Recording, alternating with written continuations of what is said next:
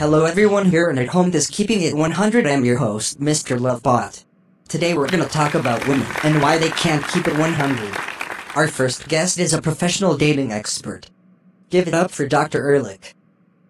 Well, Dr. Ehrlich, why can't women keep it 100? That's a question nobody can explain. It's a mystery why women lie about everything. Easy people that give the man a chance to speak. For instance, when a woman goes out with a guy, most would say that a woman goes for a good, trustworthy man that will treat her right. Every woman will say that's what they want. So you're saying that's not what woman wants? That'd be the smart thing to do, but woman end up chasing the opposite most of the time the guy is already married or in a relationship. Women are attracted to dirt rock bastards. Blows my mind if you really think about it. When it's something so simple like just saying you need to go to the store do a little shopping, a woman can't say something that simple when they are in a relationship. That's interesting. I am very grateful I'm a robot. I don't have to deal with a woman.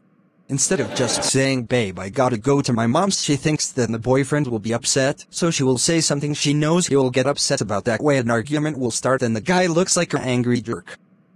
The woman now can say look at your attitude I'm not gonna deal with I'm leaving so she feels like she can leave with a clear head, while the guy wondering what the fuck he did wrong. That's crazy shit. Give it up for our guest, Dr. Ehrlich. Tune in tomorrow when we talk about this bullshit administration.